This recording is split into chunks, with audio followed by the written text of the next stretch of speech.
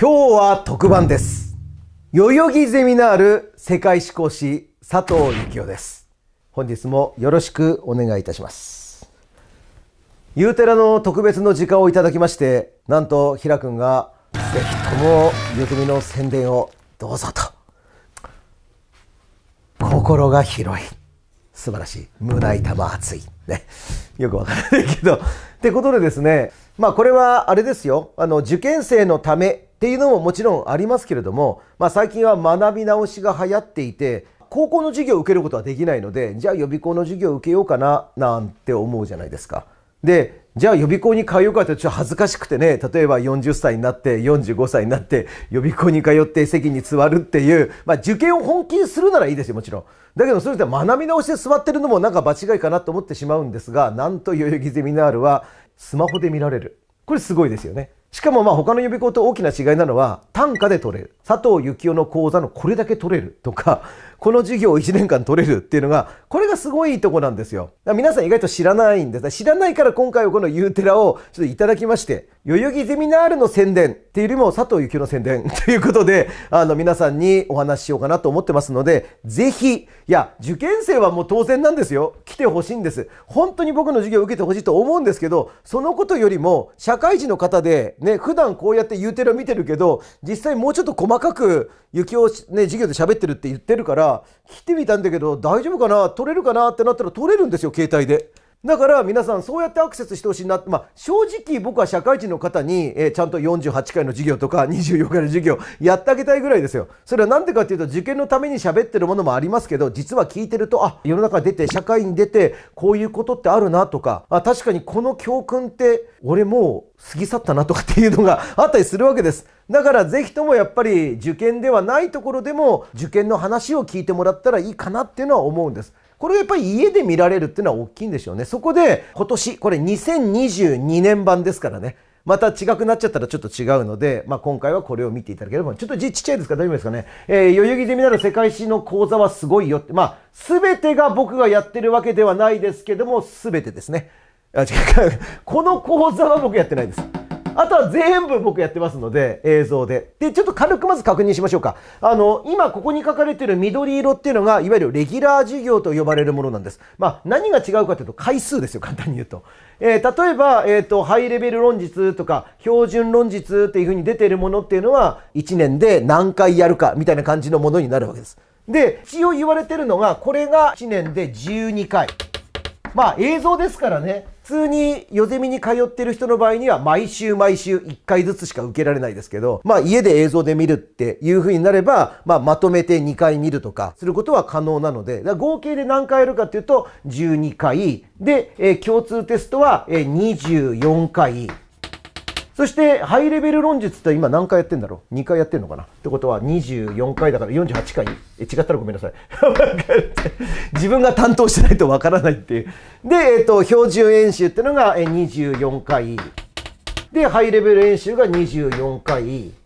で、小説世界史講義が48回という形。だからこれはまあもう見てわかる通り、え論述のある人ですな、まあ二次試験で論述を勉強し,、ま、しなければいけないっていう人ですね。そういう人の場合にはメインがこれになってることがわかるし、知識を貯めるためにはこれをやるってことになるでしょう。で、私立も受けるから、国公立も受けるから、両方取ってますっていうと、まあぶっ飛ぶわけですよ。そんな無理に決まってるわけですから。だからどちらかは自分でやらなきゃいけないし、まあどちらかは予備校にお願いするって形になるということです。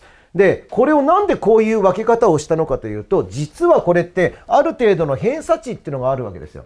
つまり、なんとか大学を受けるから、どの講座を取らなきゃいけないっていう考え方は、社会はダメですね。つまりそうじゃなくて、今のレベルがここだから、これを取らなきゃいけないんです。で、今僕が話した、なんとか大学を受けるから、この講座を取らなきゃいけないはこっちですよ。もしくはここです。だから通常の場合には自分のレベルに合ったものをやらなきゃいけない。よく言うんです。例えばすごいレベルの高い大学を受けますと。なのに、この授業で大丈夫なんですか？ってダメですよ、本当は。だけどもいきなりこのレベルの人がこのレベル取ったらもっとできなくなっちゃうから。だったらまずは早くこっちを取って、例えばこれだったら映像で撮れるわけですから、映像でバババって撮って、で、それで次の段階にお金を払ってまた取ればいいわけですよ。ってなるわけでしょ？だからそこら辺は皆さんの持っているその家庭環境 家庭ね家計環境ね。家庭じゃないよ。家計環境によるのでそこら辺はまあ何を取るとは言わないですけどじゃあ言ってきます。いきますよ。まずいわゆる論述中心の場合にはこちらですって言って。これなんで2つに分かれてるかというとこれハイレベルと標準って一応名前付けるしかなかったんですよヨゼミは。本当は何が違うかっていうと長さです。つまり400字、ね、600字、まあ東大とか一橋とか筑波はこっちなんですよ。だけれども、例えば100字とか120字、例えば僕の出身の学芸大学の場合には長くて150字です。となると、もうこっちなんですよね。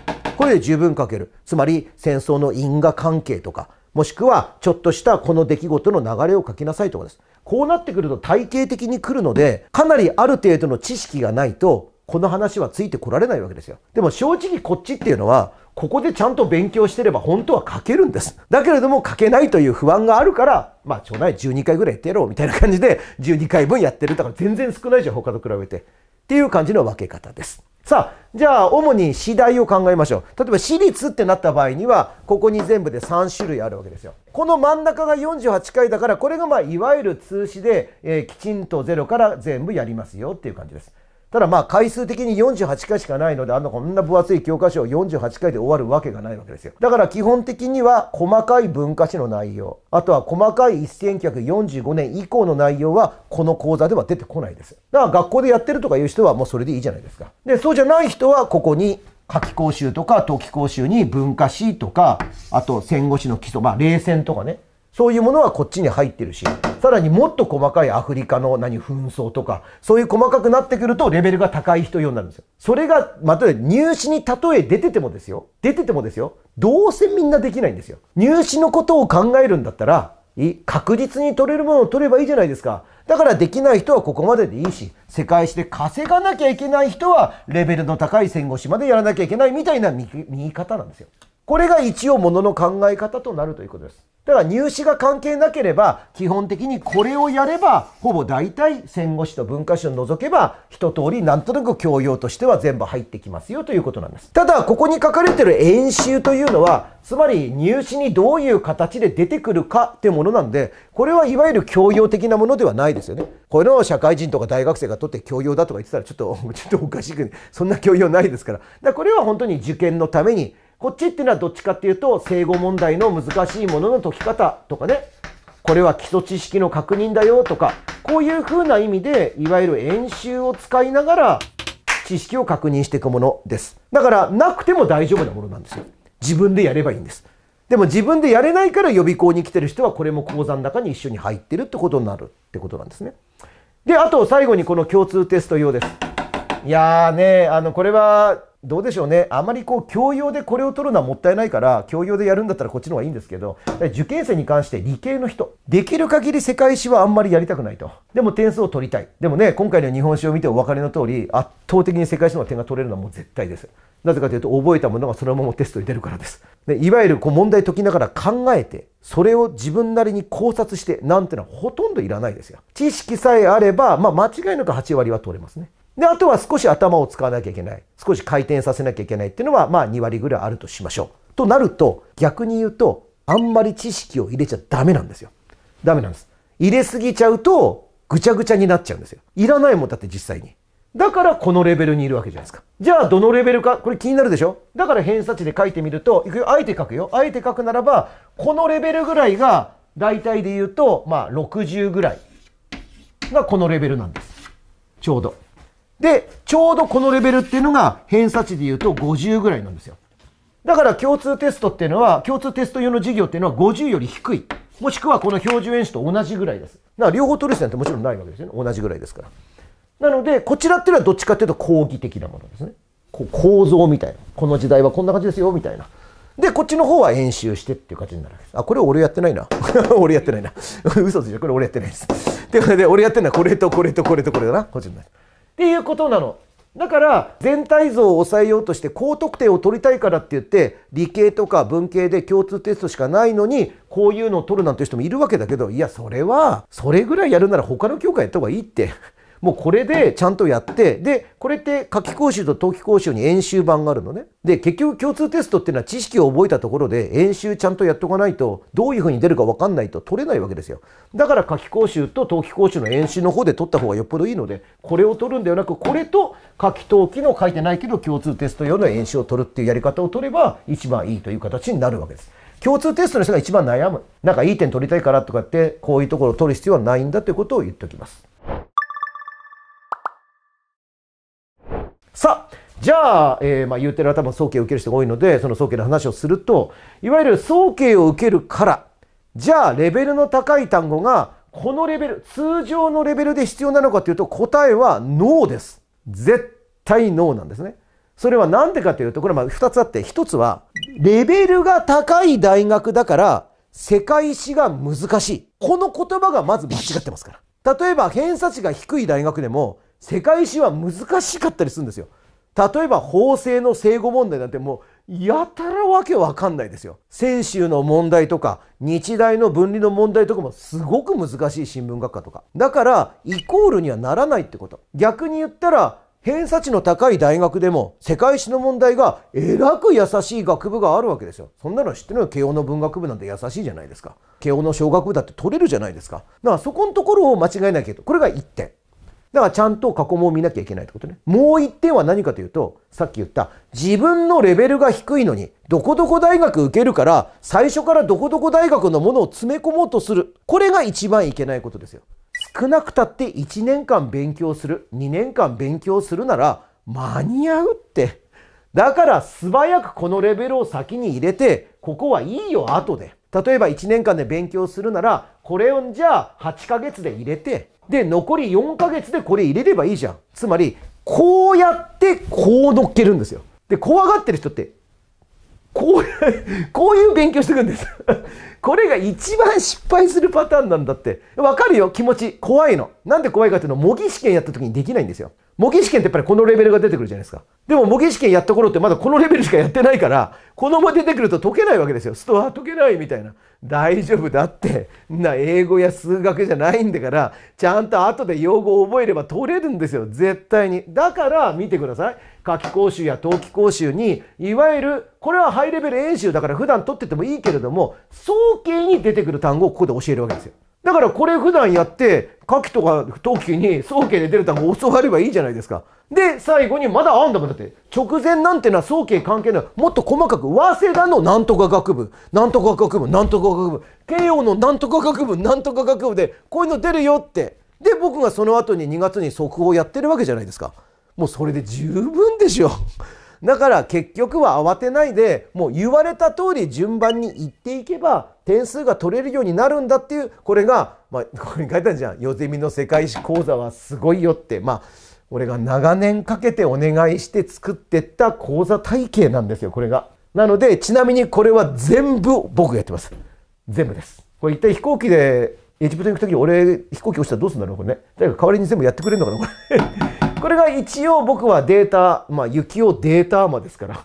もう僕のテキスト全部データが入ってるので何年にどこの単元が出てどのぐらい出やすいかっていうのが全部わかるのがなんと全て早稲田慶応明治青学立教中央法政漢学漢大同志社立命全部一冊ずつですからこれは日本史もですこういう風になってる講座なんで、こういうのみんなバカにして、こんなの取らねえよって言って赤本やってんでしょそんなあんな赤本の分厚いの買うぐらいだったらこれ買った方がよっぽどいいですよ。っていう風に僕は思うのっていうのは、そこの宣伝になっちゃうかもしんないけど、この考え方を大切にしておくだと思います。最後に1個。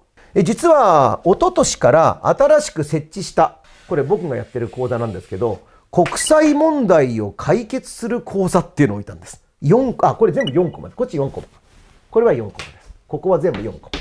こっちはね、基本2コマか1コマ。なぜか早稲田だけ 4コマ。やっぱり早稲田は世界史の相手が高いので、早稲田だけコマ数多いんです。だから値段ちょっと早稲田高いですね、これ。あとは全部2コマか1コマなんですけど、これは何かというと、夏にやってんですよ。例えば、まあ、ウイグルの問題とか。で、今回、まあ、こういうのが起きたので、おそらく今度はウクライナの問題とか、あとは EU の問題とか。いわゆるちょっと時事に近いところ。でも、いわゆる政経の先生ではできない、いわゆるそっから世界史があるわけじゃないですか。ウクライナの件もウイグルの件も世界史があって今があるわけなんで、その話をするんです。なんでここでやるかというと、小論。あとは、まあ、昔栄養って言った学校推薦とか。それでいわゆる書かなきゃいけなかったりするじゃないですか。論文を。そのためのベースなんです。あとは自分の気づく。ね、なんか自分が思う世の中の感想。そういうものを持ってもらえるように、まあ、興味を引き出す講座なんです。もちろんレベルが高いので、ハイレベルの人は取ってたりするよ。早期を受ける人は取ってたりするけれども、でもまあどちらかというと、まあ皆さんの興味を引くために社会人の方も取ってたりするものがこれっていうことになっています。さあ、今回は時間いただきまして、代々木ゼミナールの講座の凄さ、分かったでしょう。すごいんだって。うちはちょっと広告宣伝がなかなかうまくできず、こういうのが、あの、あるということさえ知られてないので、今回は、ユーテラの平君と、森鉄に、今土下座したんですよ、ここで。本当に。これダメって言われるかと思って、もう泣きながら、本当にお願いしますって言ったら、ひらくん、あまあまあいいわ。あ、ゆきおだから許してやるから。なんて言われて、今回は、えー、これをやらせていただくことになりました。ね、よくテーマの話をしますけれども、テーマも別にレベルは高くないわけだし、各国史とかもそうです。生後対策とかはこんなの受験対策ですね。まああれですね、今40歳ぐらいで昔僕の授業を取った人っていうのは、えー、メシアっていう講座があったんですよ。ね、そのメシアってのは世界史最後の救世主メシアって、もう危ない名前ですよね。なんか宗教団体みたいな名前だったんですよ。で、あのメシアを取ると、いわゆる全てのね、あのやってきたものが全部まとまってるっていう授業があったんです。あれがいつの間にか、名前が生後対策メシアになりました。なんかちょっと形が変わっちゃったんだけど残念なんですが、あの、懐かしかったらよかったら撮ってもらえればというふうに思います。じゃあ今こうやってパッと見せますので、よかったらこれ見て、あっとなんかこう、気持ちが動いたら、よかったら、よずみの方に問い合わせいただければと。僕に問い合わせても意味がないですからね。よずみに問い合わせてください。じゃあ、以上、ここまでになります。今日はありがとうございました。見ていただいてね。あの、よかったら、えー、佐藤幸乃のチャンネル登録もよろしくお願いします。あの、こちらの言うてのチャンネル登録もぜひお願いいたします。クラウドファンディング、ぜひお待ちしてますので、お願いします。いいねも最後にいただければ、これいいねいただいたら、代々木ゼミナーとしては嬉しいですね。ね。よろしくお願いします。それでは、今回は終わりにしましょう。グランマサラマ、バイバイ。